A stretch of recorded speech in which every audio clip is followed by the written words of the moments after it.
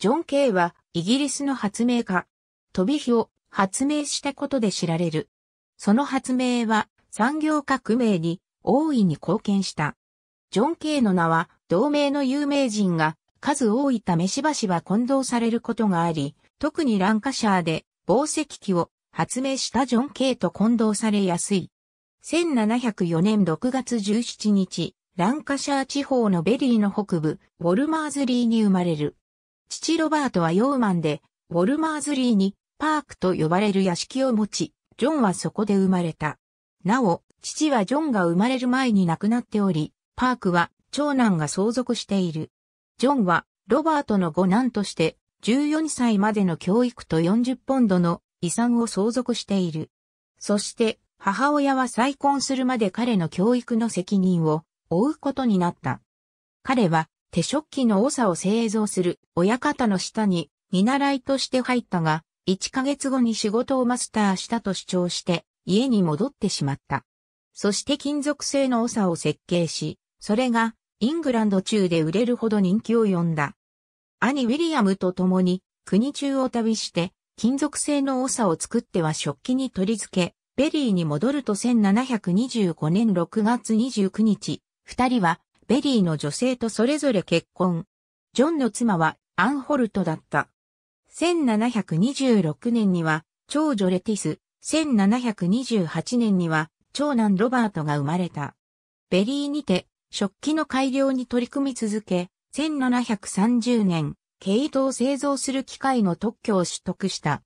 ジョン・ケイが発明した自動織機の飛び杼1733年、自身最大の革新的発明とも言える手食器用のローラー付きの非ウィールドシャトルの特許を取得。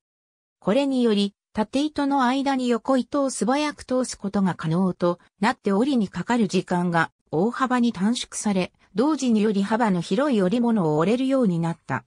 そのため、従来幅広の食器では火をキャッチする助手が必要だったが、折り手一人で幅広の食器を扱えるようになった。K が発明したのはウィールドシャトルだが、その動作する様が飛ぶようだったためフライシャトル、すなわち飛び火と呼ばれた。特に若い折り手が狭い食器でそれを使う様は次のように描写されている。想像を絶する速さで、火はすぐさま消える小さな雲のようにしか見えない。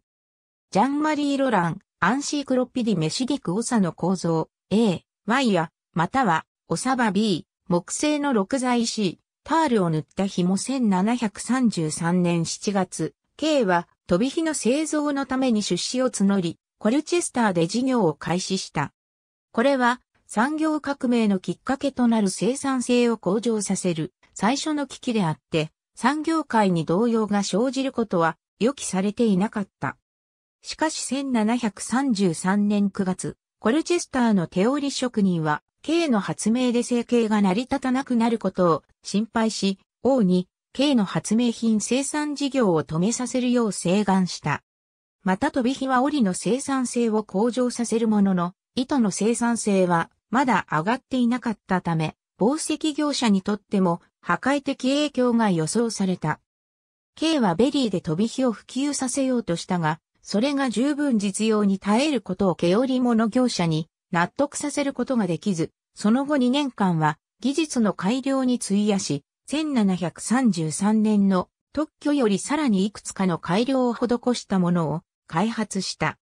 1738年にはリーズに移り住んだが、特許料の不払いという問題が生じた。当時、飛び火1個につき年間15シリングの特許料を設定していた。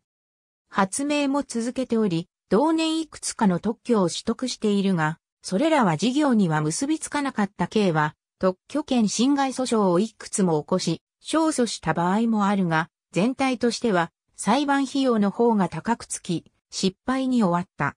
織物業者は、シャトルクラブというシンジケートを結成し、出廷費用を融通し合い、敗訴した場合の保険を作って対抗し、K はほぼ破産状態となった。1745年、ジョセフ・ステルは水力で駆動することを想定したリボン用食器の特許を取得したが、K が裁判で経済的に苦しくなっていたため事業化することはできなかった。結局、リーズを離れベリーに戻ることを余儀なくされた。1745年には、末っ子のウィリアムが生まれている。その後も発明を続けている。1746年には、塩の製法の効率化を研究し、紡績技術の改良にも取り組んだが、そのために、ベリーの紡績業者の顰蹙を買った。また、飛び杼が普及してきたことで、木綿糸の需要が増え、価格が上昇したために原因を作った K が非難された。イングランドでは常に暴力の危険にさらされていたが、K が国を離れる決心をしたのはそのせいというよりも、特許権が徹底できないためであった。トラデインのフランス商業局は、繊維産業の技術革新をサポートしていることで知られ、後には発明家の移民も集めていた。1747年、そういった国からのサポートが得られると期待して、K はイングランドからフランスへ渡った。パリに着くと、1747年一杯をかけて、フランス政府と技術を売る交渉を行った。要求した巨額の対価は拒否されたが、最終的に3000リーブルの一時金と2500リーブルの年金で合意に達し、まず、ノルマンディの織物業者から飛び火を指導することになった。また、フランスでの飛び火生産の独占権を保持し、3人の息子をパリに呼び寄せて生産を行った。イングランドでの暴力の経験から織物の生産地へ向かうことには用心深かったが、解き伏せられて生産地に向かっている。一時期フランス当局は K がイングランドと連絡するのを妨害したようだが、K はフランス政府にイングランドで彼の技術が思いがけない形で使われていることを報告している。私の新型の火はイングランドで幅の狭い毛織物の生産にも使われているが、私が指導すればもっと完璧にできる。ジョン・ケイ、フランス国立中央文書館が所蔵する書館フランスにおける織物生産の機械化は1753年に始まったとされており、その頃飛び火が普及した。その多くは K が生産したものではなく、コピー商品だった。フランスでも製造権の独占に失敗し、フランス政府と反目するようになり、1756年頃、イングランドに戻った。1753年、ベリーに行った K が群衆に襲われ、やっとの思いでイングランドを脱出したという逸話があるが、これはそれ以前のコルチェスターでの暴動に基づいて19世紀に作られた話と思われ、K は1750年代前半にはフランスにいた。ベリーにあるジョン・ケイ記念碑1903年に建立が計画された。19世紀における K の再評価の動きはほとんどなかったが、1903年になってベリーで K の罪滅ぼしの動きが起き、素晴らしい天才で犠牲となった人物への償いをすべきだという考えが生まれた。イングランドに戻ってみると、状況は良くなっていなかった。そのため1758年にはフランスに戻って定住したが、その後少なくとも2回イングランドを訪れている。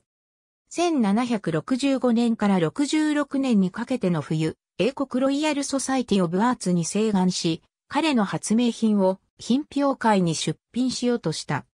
同協会には飛び火を知っている人がおらず、手紙の一部は届かなかったため、賞は与えられなかった。1773年にもイングランドに行ったが、年金が打ち切られたため1774年にフランスに戻った。飛び火について指導する代わりに年金を復活させて欲しいと申し出たが断られ、残りの数年をサンス及びトロワで綿織物業者のために機械を組み立てて過ごした。1779年までそうした仕事と手紙を書くことで忙しく過ごしているが、晩年の5年間は、フランス政府からの報酬が1700リーブルに減額されている。1778年3月には、金欠状態となり、今後の食器政策の全金を受け取っている。彼が最後に書いたとみられる手紙は、フランス当局に対して、これまでの業績を示し、さらなる発明を提案したものである。しかし、新たな発明をした証拠はなく、その後の消息も聞かれないため、K は1779年後半に75歳で亡くなったとみられている。ジョン・ケイの息子ロバートはイングランドに留まり、1760年にドロップボックスを発明した。これは複数の飛び杼を織機で使えるようにするもので多色織りが可能となった。息子のジョンは父と共に長くフランスに住んでいた。1782年、彼は同じく特許問題を抱えていたリチャード・アークライトに父のトラブルの記録を提供している。フォード・マドックス・ブラウンがジョン・ケイと彼の発明を壁画に描いており、これはマンチェスターのタウンホールにある。ベリーでは、K は地元の英雄となっており、K の名を冠したパブや庭園がある。1840年代に K のひ孫、トーマス・サトクリフは一族のためにキャンペーンを展開した。1846年、イギリスでの K の不当な扱いに対する補償を議会に求めたが失敗した。彼は家計や祖祖父のことをよく知らず、その空想的で間違った文書は、ジョン・ロードが一時文献を駆使して詳細に調査し、疑問を呈した。ありがとうございます。